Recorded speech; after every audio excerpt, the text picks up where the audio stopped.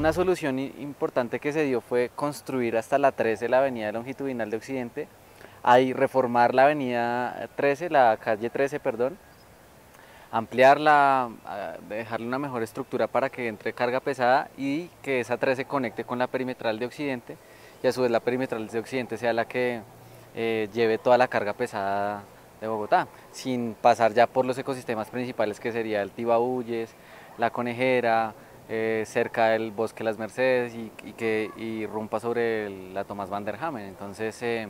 la, una de las soluciones posibles era esa, construirlo hasta la 3 y conectarlo con la perimetral de Occidente. Bueno, pues la LO ya está construida en el tramo sur. Actualmente el trazado, como no tiene mm, flujo vehicular, pues todavía los impactos no se han dado de tal manera que afecte la biodiversidad y los ecosistemas pero pues se está haciendo un monitoreo previo a que pase el flujo vehicular por el tramo sur, en donde cual ya eh, Osvaldo Cortés estuvo haciendo un inventario de aves y ya encontró aves en peligro de extinción en ese tramo sur, pero seguramente cuando entre el, flujo vehicular va, van seguramente a extinguirse o a disminuir las poblaciones. Eso ya sería un impacto, ya pasaron por encima del río Bogotá, cerca a unos humedales en Suacha, pero justamente cuando entre mm,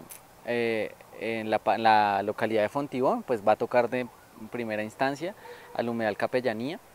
que es el humedal que tal vez resulta más afectado porque casi que lo condena a su desaparición, le pasa en una forma de S,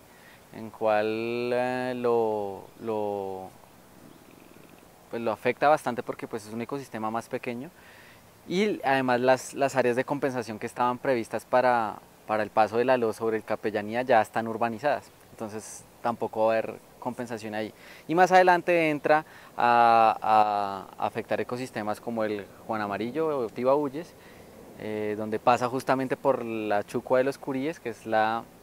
es la, el, tramo que tiene mayor biodiversidad, está la tingua bogotana con una gran población, es el año pasado encontramos cerca de 8 tinguas bogotanas ahí, eh, que están